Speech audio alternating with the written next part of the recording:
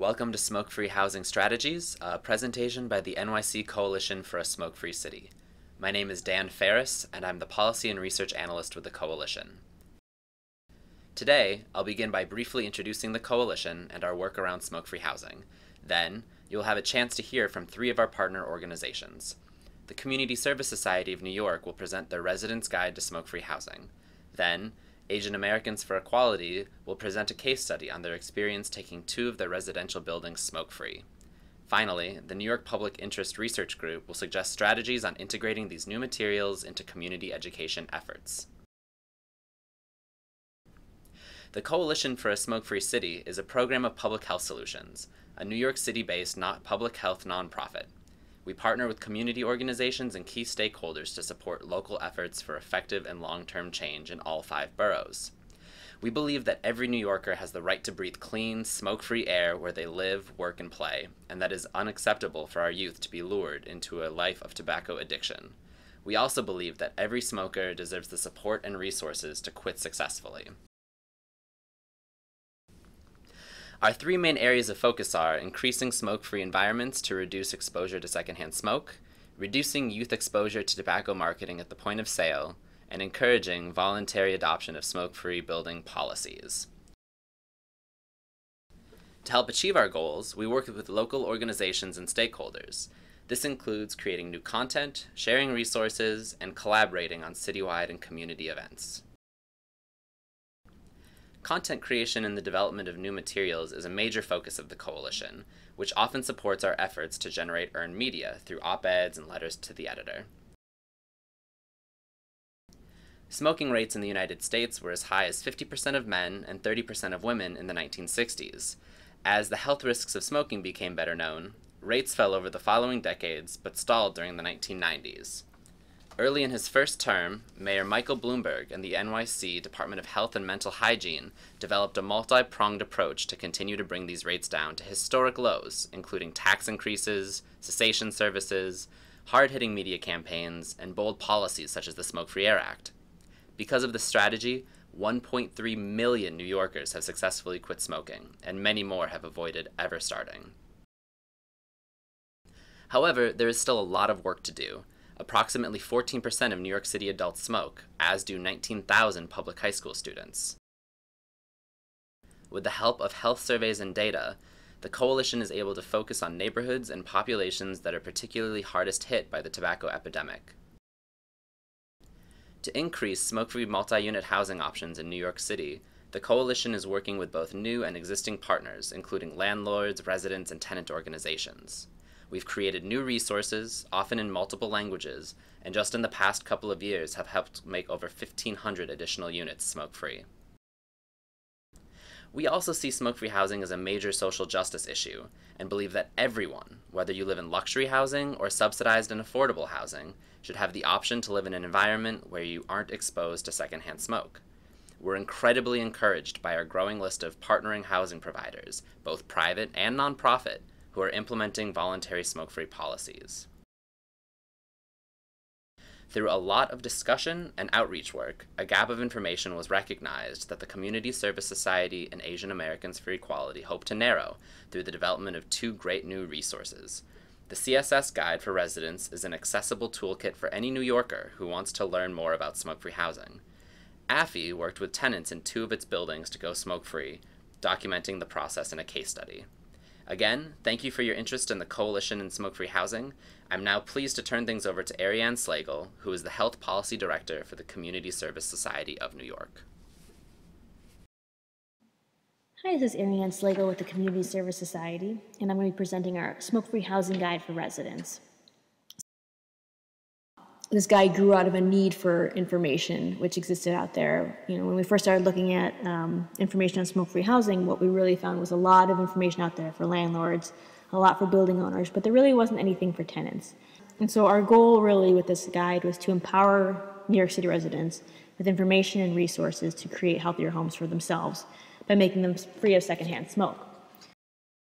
So the guide basically starts out with a little bit of background on secondhand smoke, we talk about the effects on your health, and we know that any amount of secondhand smoke is dangerous. Any amount increases your risk of heart disease, of heart attack or lung cancer, Um, it's detrimental to children's health, um, and kids who inhale secondhand smoke are more likely to suffer from ear and lung infections. They're more, they're more likely to get asthma and to die of SIDS. Um, in New York City, more than 200,000 kids are regularly exposed to secondhand smoke in their homes every day. We have this guide here, or a little chart on the right um, from the Centers for Disease Control and Prevention, which basically breaks down the different components of secondhand smoke so you could see all the different toxins that are in that air you're breathing. We have ammonia, we have carbon monoxide, there's methane, um, butane, methanol, and this is all on top of nicotine, which is also an insecticide. So there's a lot of toxins here which are in the air that is being breathed um, by families living in um, apartment buildings, even if they don't smoke within their homes themselves.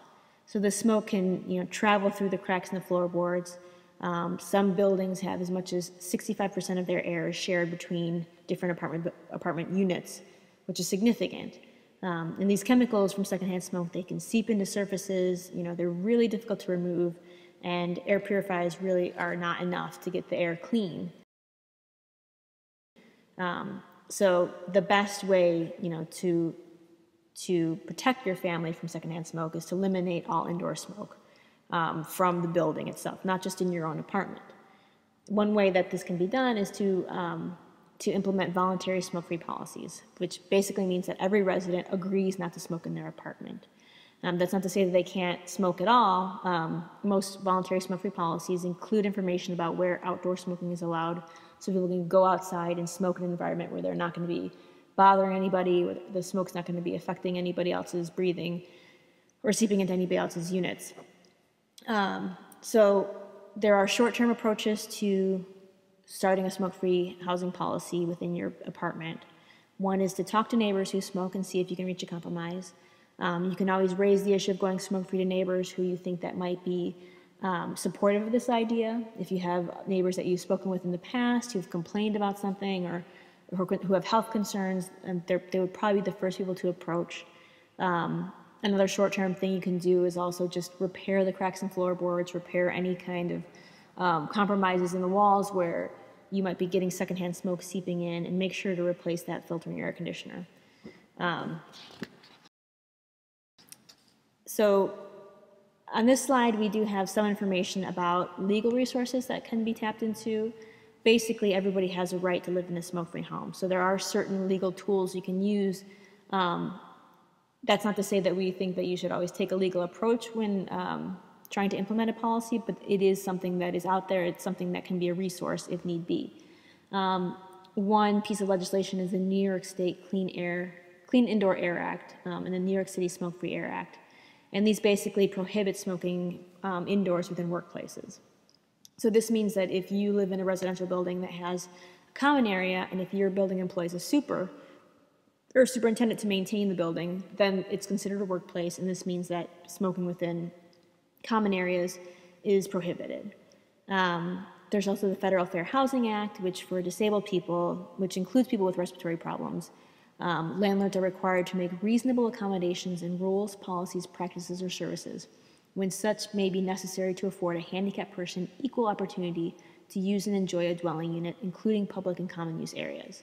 So basically, this means that they have to create a, they have to provide you with a suitable living space that isn't going to make you, um, isn't going to be detrimental to your health. Um, there's also the New York Real Property Law, which basically um, Every lease includes a warranty of habitability, which guarantees that the leased apartment and all spaces shared with other residents are quote unquote fit for human habitation. This actually does not apply to condos, um, which is a little bit different, um, but it does apply to co ops and um, to regular apartment buildings. Um, so, for renters who want to take action, you should know that you do have the right to voluntarily adopt a smoke free policy in your own apartment at any time over the course of your lease. Um, if secondhand smoke is affecting your quality of life, if you feel that it, it's affecting your daily activities, it could be effective in some cases to ask your landlord to enforce the warranty of habitability or nuisance clause in your lease. That's not to say that they're going to be, you know, compassionate and actually follow through, but you, you can bring it up, and some landlords will try and enforce that. Um, if you think your landlord is adopting an unfair policy around smoking, then you should know that your landlord cannot add a smoke-free policy to your lease um, mid-contract unless you agree to the change. So um, your landlord can change your lease if it's up for renewal. Um, landlords aren't allowed to ask renters about whether or not they smoke. Um, they can only evict a tenant if they violate the terms of his or her lease. And um, tenants of buildings with smoke-free policies cannot be evicted simply for being smokers if they have not violated the no smoking indoors policy. So just because you smoke, even if your apartment has a smoke-free policy, it doesn't mean that you can't live there. It just means that you can't smoke within that building. So you can always go outside to smoke. That's fine. You don't actually have to quit, even though there are plenty of resources out there if you do want to quit. Um, so one way to get your landlord on board with this is to grab their attention um, and make your argument for a smoke-free policy relevant to, to them. So for a lot of building owners or landlords, this means bring it down to money.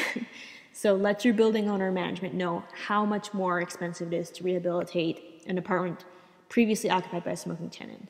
So here we have a chart here that shows how much it costs to um, renovate a non-smoking apartment versus a light smoking and a heavy smoking apartment. And you can see that the non-smoking, the total comes to about $560, whereas the heavy smoking, it's about 3,500.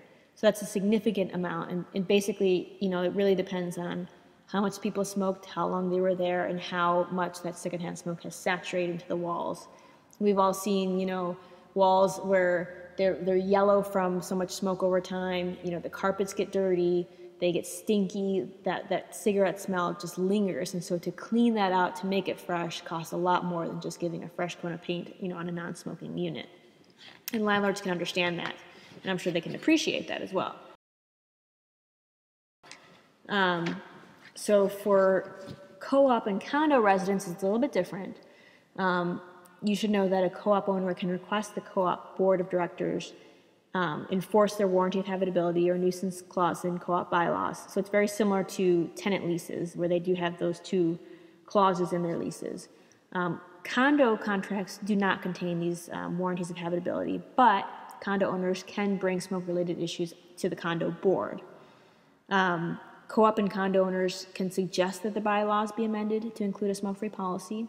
Basically, this would have to happen with a majority vote um, but the bylaws can be changed by the board to make the whole building, including individual apartments, um, smoke-free. Um, so co-op and condo residents should also know that within that while co-op and condo owners are in charge of their own apartments, they're still governed by the rules in their proprietary leases and the co-op bylaws. So a co-op board can terminate the lease of any resident who continually breaks the proprietary lease rules or bylaws, and a condo resident who continually fails to comply with the bylaws can be fined or subject to legal action. So there are things that can be done for people who don't want to, you know, play by the rules, um, so to speak. So a good way to start um, for voluntary smoke-free housing policy um, is to just kind of gauge support in your building. So talk to your neighbors, you know, like, like we said before, talk to your neighbors who may have health issues, who you may have heard complaining about smoke in the past. Ask your building management to conduct a survey of residents um, regarding their opinions on secondhand smoke, just to kind of see where people stand. You know, a lot of people might be surprised that you know there's a lot of support for this out there. They may not know by looking at people or by, you know, assuming because somebody smokes there that they're that they're not um, they're they don't want to have smoke-free housing. But a lot of people actually smoke out the windows now. They go outside to smoke and they don't want the smell of cigarette smoke in their own homes, even though they may be smokers. So there may be more support in a building than you might think. And the best way to kind of gauge that is to take a survey. So sample questions that you can include are, do you allow smoking in your apartment? Have you smelled tobacco smoke in your home that's not your own? Are you bothered by secondhand smoke in your home? Would you, be, would you prefer that smoking be prohibited from apartments, you know, etc.? These are just things that you can use to kind of get a sense of where people stand and to take the first step. Um, so there's other challenges that to consider when adopting smoke-free housing policies. Um, one is uh, smoking at the entranceway. A lot of people, again, they don't want to smoke in their own build, their own apartments. If they can't smoke in their own buildings, they go outside. But sometimes they end up smoking directly in the entranceway.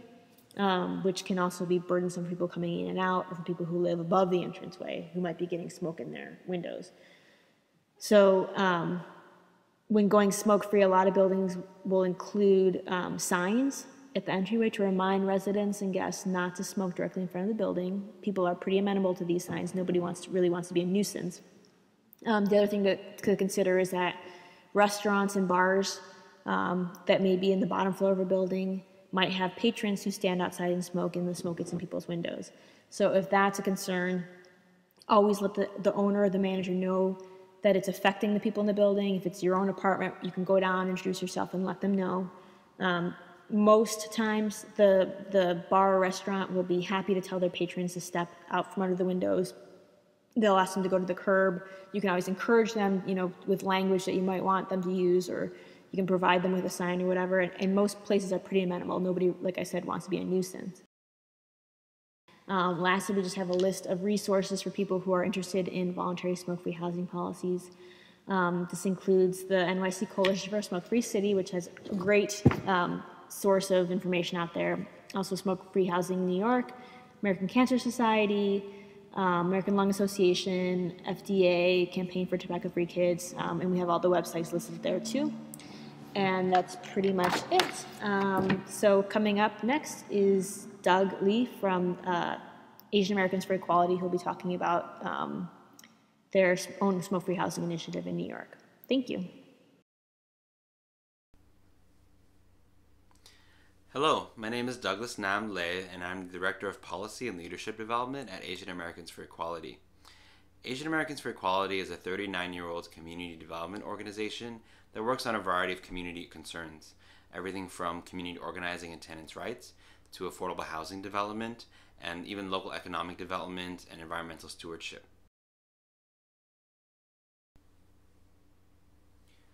Our organization has been a member of the New York City Coalition for a Smoke Free City for a number of years now, and we've really been happy to work with them on a variety of tobacco control strategies because we really see tobacco control as a social justice issue we know that housing is a really key component of that and that there has been a growing movement for smoke-free housing across the country and in New York State. Federal agencies such as the Centers for Disease Control and the Department of Housing and Urban Development have endorsed smoke-free housing as effective strategies for not only controlling tobacco, but creating a healthy and safe living environment um, in, in our homes. And we're very fortunate that they've actually not only researched and created evidence-based strategies, but develop tools uh, for individuals like us as uh, managers of multifamily housing to actually implement these strategies. And you know, we also see tobacco control as a social justice issue at the end of the day. Um, while considerable ground has been made around expanding smoke free housing, we understand that there is a, a gap, um, and that gap is between both private ownership and affordable housing. Uh, home ownership models such as condominiums and cooperatives uh, serve more moderate, middle, and upper income families, and in many ways, they are the best model to implement these types of policies around smoke free housing. Homeowners and shareholders have a stake and, a, and a, a, real role in terms of developing house rules and other type of agreements in these multifamily situations. But so many low and moderate income families live in affordable housing or rental housing where this kind of board model and, and, and uh, governance model does not exist. So we really took it upon ourselves to see how we, in, in our role in the community, could could implement and try out smoke-free housing in this situation of low-income tenants and publicly subsidized housing. Our organization is one that serves Asian Americans citywide and all New Yorkers, um, but of course, Asian American communities is our primary base. In New York City, one in every eight New Yorkers, or roughly 14%, are Asian American. And despite the fact that the city as a whole has um, really reduced smoking rates, um, we, we know that the rate actually has remained the same over the past decade among Asian American smokers. And so for us, taking on this issue is really uh, one piece of trying to address that health disparity that still exists in our community. Uh, as a tenants' rights organization, we really wanted to start from the tenants' perspective. We conducted a focus group that included 16 Chinese tenants who lived in Queens, Manhattan, Brooklyn, uh, to see really what their understanding and interests were around smoke-free housing and how they could give us some insight on how to implement it. Among the 13 participants, none were actually current or former smokers, However, um, they all have smokers in their lives, including many of their family members who live with them. And so there really was a connection around smoking and housing. And not surprisingly, because there is so much dialogue around this issue in the community and even in the ethnic and mainstream media, participants were pretty knowledgeable around tobacco use. As we explored in the focus group, we learned that all of our participants were very knowledgeable around the negative health impacts of cigarette smoke and of secondhand smoke. And they were also very articulated around the acknowledgement that cigarette smoke cannot be contained, that cigarette smoke uh, is not only an issue that travels from one apartment build unit to another, but exposure to secondhand smoke within a within an individual apartment is a really big health concern. Um, you know, we really wanted to find out for them if they would support smoke-free housing in their policy and get advice of how to best implement it. And they did say that uh, the majority of the people we spoke with actually did endorse it very highly. Uh, and of particular salience is the issue for individuals who have health pre-existing health conditions, such as asthma or other respiratory conditions. They, the individuals who we spoke with through the focus group, really said that secondhand smoke is a, not only an issue in terms of exposing these individuals with health concerns to triggers, but also smoke-free housing could be a way to help people who are trying to smoke actually quit.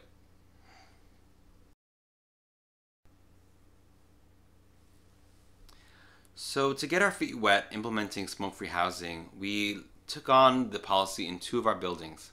Um, I'll walk through both case studies because they both provide interesting counterpoints to how um, nonprofit affordable housing organization like ourselves or any other housing developer um, could take this on. The first building is on, was, is on Rivington Street in Manhattan's Lower East Side. Uh, it is eight units, so not a terribly large building, but and it was vacant at implementation. We really saw this as an ideal to try to make this smoke-free housing policy happen, um, because we there were no tenants uh, to deal with in terms of the implementation at the get-go. Um, but the smoke-free housing policy was something that we would implement from the beginning of rent up, um, as we tried to find tenants for this building.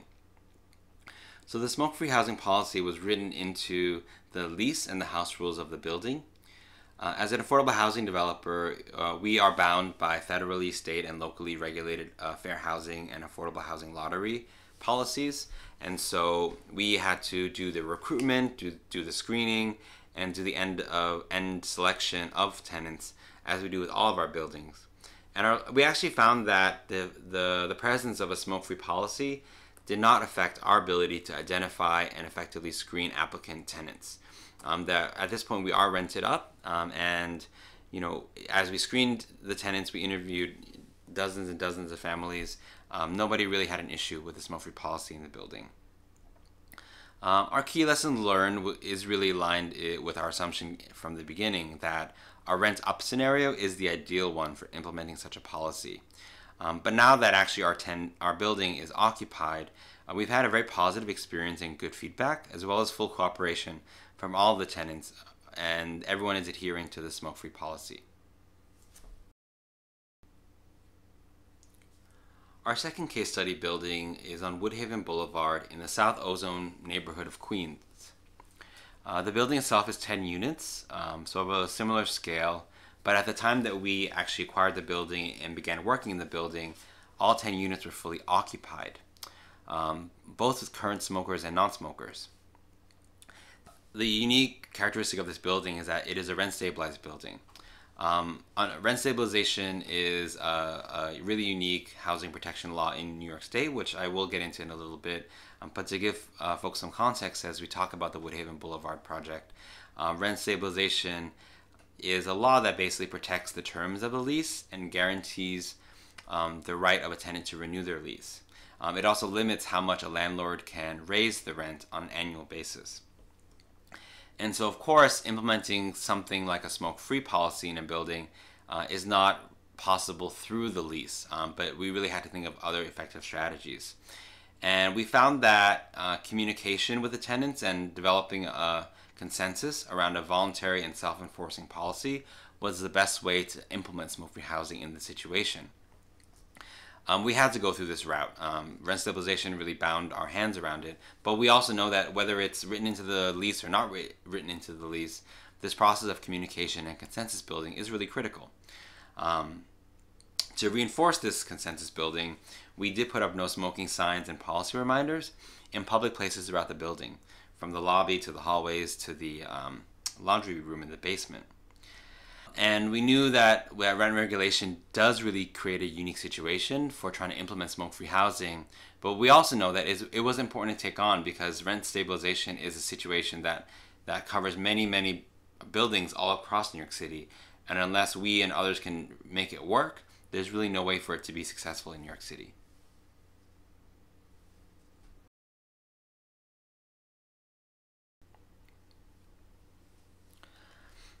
So to take a step back, uh, rent regulation uh, is a, a, legal framework in New York, New York State that protects uh, the rights of tenants to stay in their in their buildings. Um, it encompasses both rent control, which is slightly older from the 1930s, and rent stabilization, which was enacted in 1969.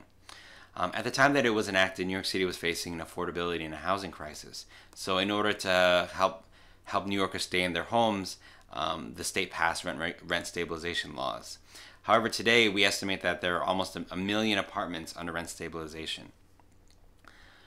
Rent stabilized tenants are protected from sharp rent increases, and, but they're also given the right to retain and renew their leases. So, on an annual basis, rents can only go up between 1% to 4%, or whatever is determined for that given year, but tenants have the right to renew. Um, therefore, landlords must keep the same terms and conditions for each expiring lease unless there is a change that's mandated in order to comply with a specific law or regulation, or with the tenant's consent. Uh, the tenant's consent is an important factor, but we know that uh, tenant's consent around an individual lease change is very difficult to come by. So, in, rent, in situations of rent stabilization, when you're trying to enact uh, smoke free housing policies, it's really on property owners to consider voluntary adoption. Um, it's really the only way to go. Of course, as units turn over, one, one tenant leaves, a new tenant comes in, smoke-free policies can be written into the new leases of a building. Um, this is sometimes called grandfathering in. However, um, over we know that this is not the most effective way to implement smoke-free housing um, because it takes time and is really dependent on the turnover of existing tenants in the building. So what have we learned? Through our case study of two buildings, uh, we've seen firsthand that smoke-free housing policies are actually an effective tobacco control strategy and do advance the social justice aims uh, of the movement and of our organization. Smoke-free housing is a privilege, but it should not be a privilege that should be for the few or for those with means. That we really strongly believe and smoke-free housing should be accessible to all, particularly to the families that we serve, which include many seniors, low-income families, and individuals with existing health conditions such as asthma. We, as a nonprofit affordable housing developer and our peer organizations, are really uniquely positioned to lead the charge because we do serve these most vulnerable populations in New York. And we, as affordable housing owners, uh, can actually implement this and make it happen for New York, all New Yorkers, regardless of income. So what have we learned um, and what, what comes out of this? Some of our key recommendations are that it actually is feasible to implement smoke-free housing in affordable housing developments. As managers and owners of housing, however, we really found that voluntary adoption can be developed where the regulatory barriers such as rent stabilization exist. And it really spoke to the fact that not only should rent stabilization be a factor in thinking about voluntary policies, but really, the spirit of voluntary adoption it should be in everything, um, even if the policies are written into the lease, because at the end of the day, it is about buy-in. You know, we, we understand the concern around tenants' rights. We were founded as a tenants' rights organization, and we know that some landlords who really rely on harassment um, and other types of uh, predatory strategies could use smoke-free policies to force eviction of tenants. But we think that actually majority of landlords will not use these policies and actually, unscrupulous landlords will use whatever it takes to get their tenants out if they want to. Um, so, it, enforcement of these policies and protection of tenants' rights are really part and parcel with other issues of tenants' rights protections that we as organizations take on. Our lesson finally is that successful implementation of housing policy depends on communication and consensus building. In many ways, this was nothing new to us. Um, we work with over a thousand tenants every day, and whether we want to make rehabilitation to their unit. We need to inform them about things that are changing in the building. it really is all about communication and consensus building, whether it's something positive or something negative that the tenant will foresee. Tenants need to know how it's happening, why it's happening, and at the end of the day, how the changes that are happening will impact them the most. So I know that any affordable housing developer will know that communication and consensus building are really key to any successful changes in a building. But at the end of the day, it is really also about informing our tenants about the benefits of smoke free housing in the building and how smoke free housing not only uh, curtails and prevents sec- exposure to secondhand smoke, particularly important for those with health conditions, um, but also enables those who are trying to quit, um, enables them opportunities to not smoke and, and gives them ways to, to, to practice that.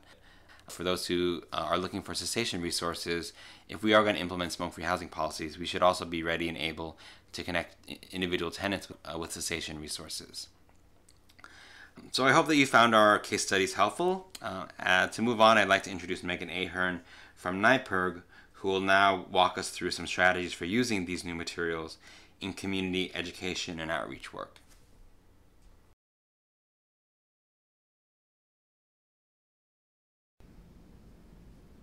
Thanks, Douglas. Hi, everyone. My name is Megan Ahearn, and I'm the program coordinator for the New York Public Interest Research Group, or NYPIRG. And NYPIRG is a proud member of the New York City Coalition for a Smoke Free City. Today, I'm going to share some of the best uses and best practices for integrating smoke free housing materials into both existing and new community education efforts. Uh, the smoke free housing materials we'll speak about include Community Service Society, or CSS's Smoke Free Housing Guide for New York City Residents. The pamphlet is the first one of its kind, focusing on providing information that wasn't previously accessible to tenants. It also clears up common misconceptions and some misinformation that we've encountered. And then, secondly, uh, the Asian Americans for Equality, or AAFE's Making Room to Breathe case study, which documents the process of going smoke free in two buildings. In addition to new content that CSS and AAFE created, the practices we'll go over today also apply to resources that you may have already, such as the impact of secondhand smoke infographic and the smoke free housing fact sheets, along with anything else that your organization may have made. Creating new materials is an effective tactic because, first, it strengthens our reputation as leaders in the smoke free world. Uh, just the sheer fact that you're devoting resources to an issue provides legitimacy and establishes expertise. On top of that, compiling information from reputable sources speaks to your professionalism. You are the company you keep. Once you publish materials, you open up to the scrutiny of opposition, and when you create materials that can pass those tests, you gain the trust of the public. Also, others can cite your work and look to you for answers. Secondly, creating new materials compiles new information. Timely research can reveal new statistics, which can best illustrate an issue. And new information also might bring the issue home, highlighting local trends, local opinions, and facts. And thirdly, creating new materials communicates your issue in your words. You can build and control the message that frames the issue for the media and for the public. This is an important step of any community education work. You can use the opportunity to answer frequently asked questions and also counter misinformation that might be out there. In creating new materials, there are three main goals to reach for. We want to provide education, that is, to provide information to yourself, to colleagues, and to the community. We want to do outreach, reach new audiences, and ask them to get involved. And lastly, we want to empower communities to improve their environments. Best uses are proactive strategies to meet the goals of educating, empowering, and communicating the importance of smoke free housing using the CSS Smoke Free Housing Guide and AAFE's Making Room to Breathe case study. We'll go over education strategies, outreach and recruitment tips, and community empowerment tactics. To educate communities, you might, for instance, hand out the guide or the case study at a community board meeting. Community boards are effective bodies to reach out to because they are community representatives. That's what they're there for. They are a gathering of neighborhood leaders, they're action based, and they often have the ears of local politicians. So you might make an announcement at a community board's public session that a new case study or a new guide has been published, and then bring a few copies to leave at the information table. Also, you might schedule a meeting with your representatives and leave them a copy of both resources. You could also schedule a meeting with other decision makers like landlords or co op boards to do the same thing, leaving them a copy of both. For tenants looking to bring smoke free housing to your building, you could hand out the guide to neighbors at block parties or those you see on the stoop or in the park. You might be able to answer questions and concerns from those uh, you speak with using AAFE's case study, uh, specifically in the tenant's perspective and appendices sections, to show what a potential change could look like. In recruiting support and reaching and involving new audiences, you can meet with relevant community board committees such as the Housing or Health or Environmental Committee and ask them to link the content on their website and provide copies in their offices. You might invite a legislator to attend an event which features the material, uh, the new resources, or the issues that it covers. Since it's easy to read quickly, start with the guide as a tool to talk to neighbors and see who is open and supportive of the issue. Find your allies. And lastly, to empower communities to improve their environments, use both resources to open dialogue about passing a community board resolution supporting smoke free housing. You can use the case study's key lessons and recommendations as a tool to motivate building management to make the transition and as a side note, sample materials in the appendices of the case study can make it very easy. The blueprint's already there. Use momentum started by handing out the guide and set up a follow up talk or a group meeting with supportive neighbors to discuss potential next steps in more detail. Both the CSS guide and AAFE case study can be very helpful tools. So I'm going to share ways that both can be helpful for both community based organizations and health organizations, and then for uh, individual tenants and landlords. Starting with the CSS guide, the aim of this guide is to empower New York City residents with information and resources to create healthier homes by making them free of secondhand smoke. So some of the ways that it may be helpful for health and community based organizations specifically are providing it to community members who contact your organization for help, adding the guide to materials of any health based work you're already doing, integrating the guide into materials or compiled material packets, especially those focused on air quality, filtering and ventilation, or apartment re- rehabilitation, for example. And lastly, educating rent stabilized tenants on what to and also what not to ask for when bringing smoke free policies to their buildings for an easier transition with less drama. Some ways that the CSS guide may be helpful for tenants and property owners specifically are making conversations easier with neighbors. It also provides clarity for some frequently asked questions and rent stabilization rules and it introduces the topic and provides data to management, landlords, co op, or condo boards to support your case for voluntary smoke free policies. Next, the AAFE case study describes several steps AAFE undertook to document the levels of knowledge and interest concerning smoke free housing among community residents they serve as well as piloting smoke free housing policies in two of their affordable housing developments.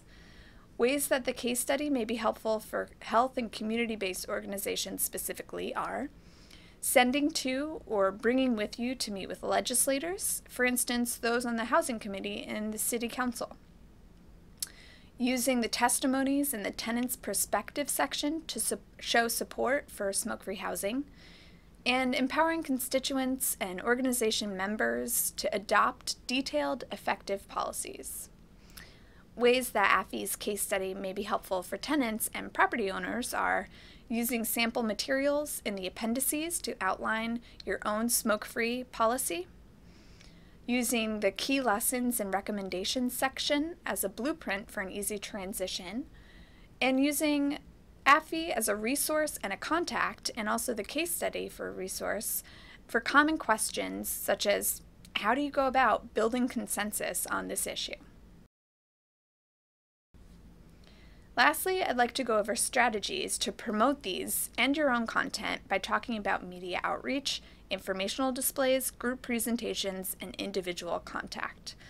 All of these strategies apply to both the CSS guide and the AAFE case study. They can also be used for any content and any resources that you have and your organization has created. When you're working with the media to promote your new content, you can write a letter to the editor explaining that you've learned something new from or found helpful the guide or case study. You can write a blog post or share someone else's blog post. If you have the resources, you might want to buy an ad in a newspaper. Many college papers are also free or low cost, so that might be an area you go to. And host a news conference to unveil, unveil a new report and invite VIPs to the event. Another important part of media outreach is social media. The social media outreach has an added benefit of increasing website and social media account traffic for all your work. When working with social media, you can take a photo and uh, add events with materials distribution and share on all your social media accounts. You can create photo memes to promote reports and guides. You can tweet the link to the release of materials. You can create your own sub-content with the materials, and I'll explain that in a little bit more detail. For example, instead of posting on Facebook just a resource with a line like something like check it out, you can comment on how that new content resonates with the work you're doing, or you can highlight a particularly impactful quote or statistics. To do this, you'll help connect your organization's particular membership with the content and it will resonate with readers of your post better. For instance, NYPIRG is a student directed organization, so I would write something like I'm amazed that I read in CSS's Smoke Free Housing Guide that 200,000 children are regularly exposed to smoke at home. That's nearly more than the total CUNY undergraduate enrollment in total.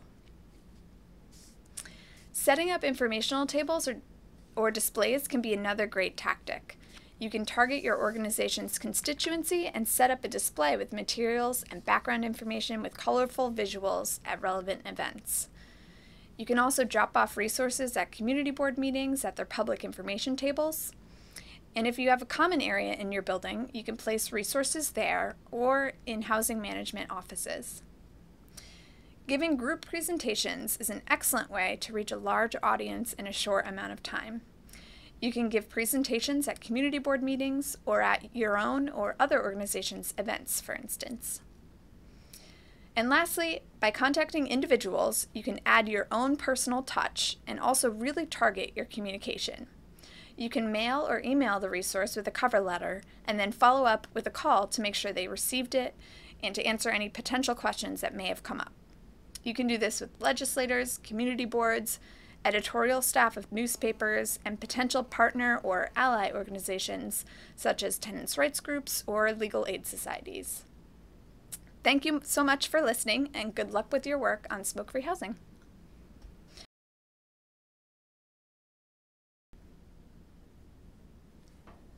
Thanks again to our partners with Asian Americans for Equality, the Community Service Society of New York, and the New York Public Interest Research Group. All of the resources discussed today are available at our website, www.nycsmokefree.org.